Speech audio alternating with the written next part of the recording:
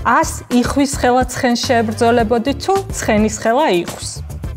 ნამეორე ახრიდან. რომელ ორნივთს წაიღებდი უკაცრიელ კუნძულზე? არა, არა. ხო, ხო იქნება. ყველაზე მიუღებელი გავრცელებული ფრაზა, რომელიც სპორტზე საუბრისას გაგიგონია. ხშირად მესმის ხოლმე ეგ ფრაზა და აი გავსი სისულელე აი არა. სპორტის რომელი სახეობის ეკიპირებაა საუკეთესო ზომბი აპოკალიფსისთვის? აა, მოიცავდა ტელეფონში ვნახავ. დავიწყოთ. კი. რომელი სუპერგმირის ძალა გექნებოდა და რატომ?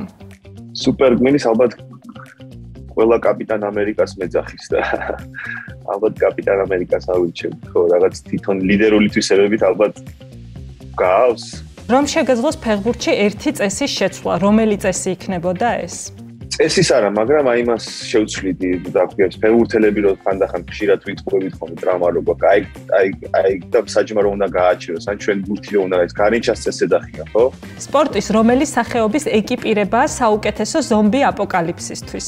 ამერიკული ფეხბურთის ეკიპირება ალბათ ყველაზე დაცული იქნებოდი, ხო? დაასახელე სპორტის თემატიკაზე შექმნილი საუკეთესო ფილმი.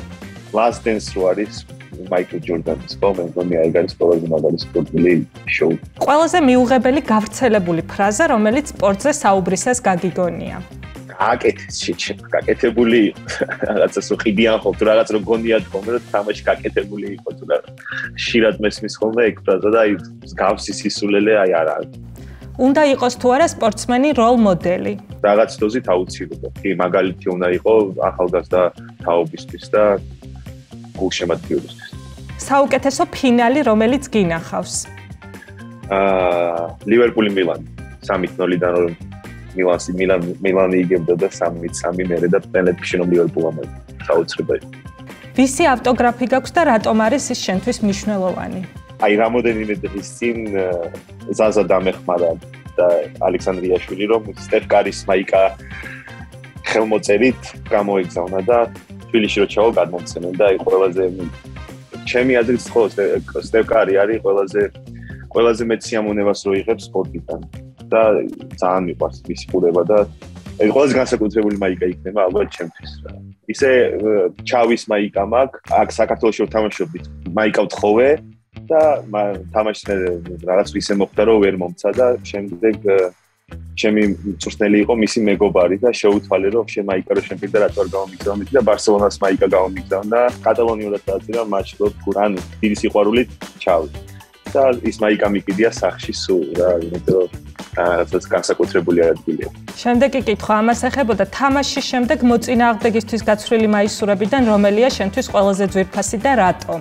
ორჯერ მქონდა ცდელობა ბავში რო ვიყავი და ორივეჯერ უარი მითხრა. ერთხელ იყო ბერბატოვი ძალიან დიდი გულშემატკივარი ვიყავი და ბულგარეთში მქონდა თამაში და ბერბატოვს თხოვე და უარი მითხრა, მაშინ და 20 წლის ვიყავი 21 წლის და შემდეგ ხორვატიაში თამაში მქონდა და მოდრიჩს თხოვე მაიკა და მოდრიჩმაც უარი მითხრა და ამის შემდეგ რაღაცა მართალი გითხრა აღარ ცვი მაიკებს. მე თუ ვინმე თხოვს და ხშირად არ ხდება დიდი სიამოვნებით, მაგრამ ისე განსაკუთრებულად აღარ ვაგროვებ მაიკებს. საჭმელი და წყალი რომ გქონდეს, რომელ ორნივთს წაიღებდი უკაცრიელ კუნძულზე?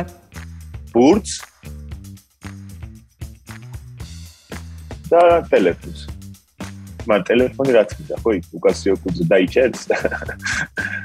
ასეთი მოცემულობა რომ გქონდეს, რომ ყველა თამაშის წინ ერთსა და იმავე სიმღერას უნდა მოусმინო, რომელი სიმღერა იქნებოდა ეს? Stronger, ესე ქვია, მაგრამ სიმღერას თანიოსის სომ. აა, მოიცავდა ტელეფონში ნახე. არა, არა. ხო, ხო იქნება. დროის მანქანა რომ გქონდეს, წარსულში იმოგზაურებდი თუ მომავალში? მომავალში აუცილებლად. წარსულში კეკვა არ მიყვარს. რომელ პერსონაჟთან აიგივებ შენ თავს? გლადიატორი ალბათ. ჩემი საყვარელი კინო იყო და ყოველთვის მინდოდა რომ ბოლოს ისე გამემარჯვებინა როგორც თვითონ მიმარჯვებს. მინდორზე დავცემულიყავი მასნაირად. და ბოლო კითხვა. ას იხვის ხელა ცხენ შეებრძოლებოდი თუ ცხენის ხელა იხვის? ნამეორე ახრიდან. ას იხვის ხელა ცხენ შეებრძოლებოდი თუ ერთ ცხენის ხელა იხვის? ერთი ცხენის ხელა იხვირო და ვიდრე მოუკვდები. 100 იყოს, არ ვიცი, კითხო, მაგრამ ერთი ცხენის ხელა იხვირო და ვინახო მოუკვდები.